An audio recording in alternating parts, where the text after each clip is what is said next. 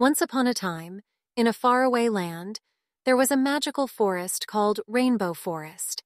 It was named after the beautiful rainbow that appeared every day, painting the sky with vibrant colors. This forest was home to many animals, each with their unique abilities and personalities. One sunny morning, a curious little rabbit named Rosie hopped through the forest, exploring the wonders around her. As she hopped along, she noticed a trail of sparkling rainbow dust leading deeper into the woods. Intrigued, she decided to follow it. The rainbow dust led Rosie to a clearing where she discovered a magical crystal nestled among the flowers. The crystal emitted a soft glow, enchanting everyone who laid eyes upon it.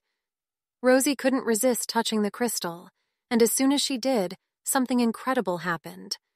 The crystal granted Rosie the ability to talk to animals and understand their language.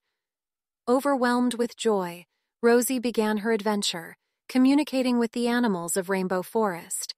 She met Bella, a wise old owl who shared stories and wisdom from her many years of experience. Bella taught Rosie about the importance of friendship and how to listen to others.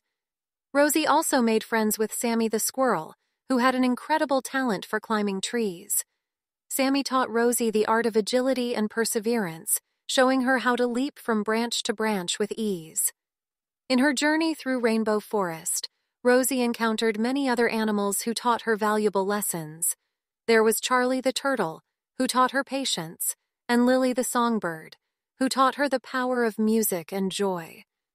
As Rosie spent time with her newfound friends, she realized that the magic of Rainbow Forest was not just in the crystal, but also in the special bonds she formed with each animal. They taught her that everyone has unique qualities that make them special, and by working together, they could accomplish great things.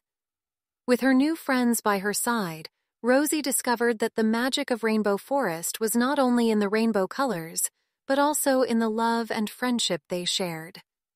From that day forward, Rosie and her animal friends continued to explore the forest, spreading happiness and kindness wherever they went.